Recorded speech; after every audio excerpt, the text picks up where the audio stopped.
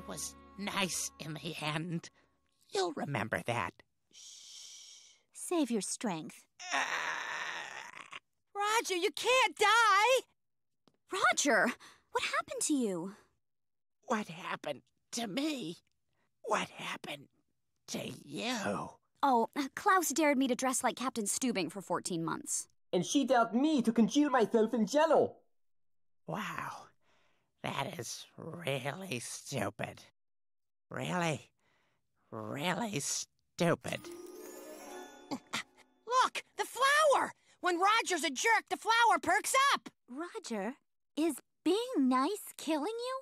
My people need to let our bitchiness out.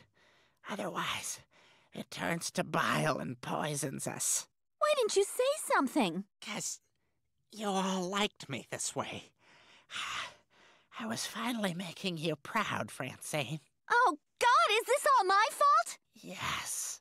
Roger, please be mean. If you have to be a jerk to live, then come on. Give us all you got. Are you sure? Yes, Roger, we're sure. Okay. Send me Steve.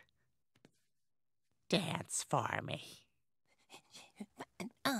Mhm, Okay, okay, that's enough. I've got what I need. You are terrible. You've got no rhythm, no coordination. I've I've seen two epileptics share a bowl of noodles with more grace.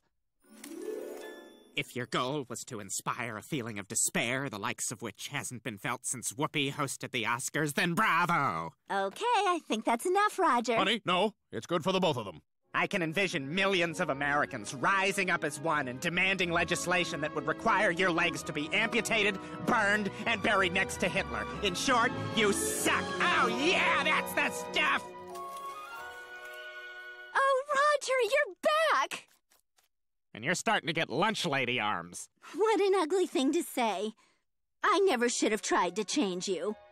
And I shouldn't have tried to change myself either. I'm an enabler. That's just who I am. Yeah, kind of like how Stan is a giant douchebag. Hey, take that back! Don't have to. That's not who I am. Wait, where are you going? You said you were an enabler. Oh, I am. And I'll be your enabler as soon as Stan finishes being who he is. The guy who beats the crap out of you when you deserve it. Ah!